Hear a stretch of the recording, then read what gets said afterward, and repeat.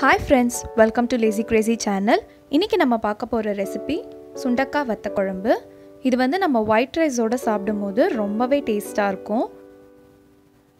நம்ம ஹோட்டல்லலாம் வாங்குற மாதிரியே ரொம்ப டேஸ்டியாக வீட்டிலே எப்படி பண்ணுன்றது தான் இன்றைக்கி நம்ம இந்த வீடியோவில் பார்க்க போகிறோம் ஸோ குழம்பு செய்கிறதுக்கு ஃபஸ்ட்டு ஒரு கடாயில் ரெண்டு டேபிள் ஸ்பூன் அளவுக்கு நல்லெண்ணெய் சேர்த்துக்கலாம். எண்ணெய் வந்து கொஞ்சம் நிறையா சேர்த்துக்கிட்டா நல்லாயிருக்கும். ஒரு டீஸ்பூன் அளவுக்கு கடுகு கடுகு நல்லா பொரிஞ்சதும் இதில் கால் டீஸ்பூன் அளவுக்கு வெந்தயம் சேர்த்துக்கலாம். ரெண்டுலேருந்து மூணு போல் காஞ்ச மிளகா கொஞ்சமாக கருவேப்பிலை அஞ்சுலேருந்து ஆறு பல்லு போல் பூண்டை நல்லா நசுக்கி இதில் சேர்த்துக்கலாம். பூண்டு வந்து நல்லா கலர் மாறுற அளவுக்கு ஸ்லோ ஃப்ளேமில் வச்சு நல்லா வதக்கிக்கலாம். பூண்டு நல்லா வதங்கினதும் இதில் ஒரு பத்துலேருந்து பதினஞ்சு போல் சின்ன வெங்காயத்தை நல்லா நறுக்கி இதில் சேர்த்துக்கலாம். இது வந்து நல்லா கோல்டன் ப்ரௌன் கலரில் மாறணும். அந்த அளவுக்கு நல்லா வதக்கிக்கோங்க. வெங்காயம் நல்லா வதங்கினதுக்கப்புறமா இதில் நம்ம தேவையான அளவு சுண்டக்காய் சேர்த்துக்கலாம். நான் வந்து கால் கப் அளவுக்கு சேர்த்துருக்கேன். நல்லா இதை வதக்கிக்கலாம். ஒரு ரெண்டுலேருந்து மூணு நிமிஷம் வரைக்கும். அடுத்தது பொடியாக நறுக்குன்னு உருளைக்கிழங்கு. நான் ஒரு பெரிய உருளைக்கிழங்க நல்லா கட் பண்ணி எடுத்திருக்கேன். இதையும் சேர்த்து நம்ம ஒரு ரெண்டு நிமிஷம் நல்லா வதக்கிக்கலாம். அடுத்தது இதில் தேவையான அளவு உப்பு. ரெண்டு டீஸ்பூன் குழம்பு மிளகாய் தூள். கால் டீஸ்பூன் மஞ்சள் தூள். ரெண்டு டீஸ்பூன் தனியாத்தூள் இது எல்லாத்தையுமே சேர்த்து நல்லா வதக்கிக்கலாம்.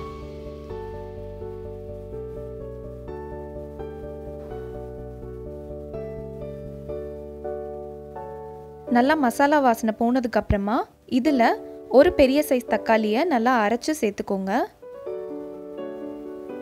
கூடவே ஒரு லெமன் சைஸ் அளவுக்கு புளியை வந்து நல்லா கரைச்சி இதில் சேர்த்துக்கலாம். இந்த மாதிரி திக் பேஸ்ட்டாகவும் நீங்கள் சேர்த்துக்கலாம் இல்லை தண்ணியாகவும் நீங்கள் சேர்த்துக்கலாம். எப்படி வேணாலும் எடுத்துக்கலாம்.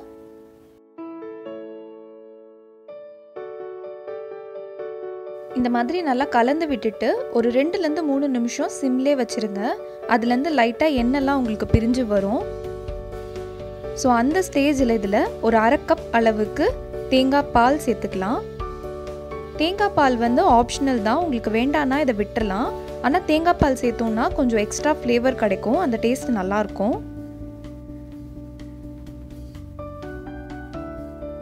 இதை நல்லா மிக்ஸ் பண்ணிக்கலாம்.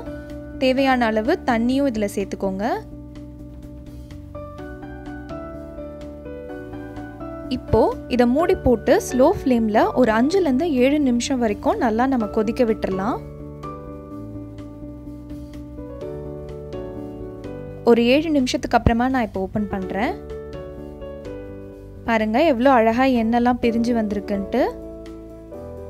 ஃப்ளேவரே அவ்வளோ சூப்பராக இருக்குது ஸோ அவ்வளோதான். லைட்டாக மிக்ஸ் பண்ணிவிட்டு இதை நம்ம ஆஃப் பண்ணிடலாம். ஸோ அவ்வளோதான். நம்மளோட சுவையான சுண்டக்காய் வத்த குழம்பு இப்போ ரெடி ஆயிடுச்சு. இது வந்து நம்ம சுட சுட ஒயிட் ரைஸ் கூட அப்பளமோடு நம்ம வச்சு சாப்பிட்டோன்னா ரொம்பவே டேஸ்ட்டாக இருக்கும்.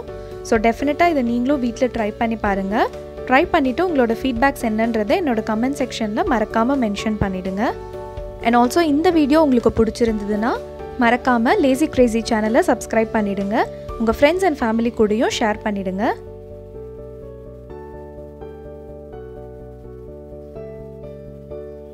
தேங்க்ஸ் ஃபார் வாட்சிங்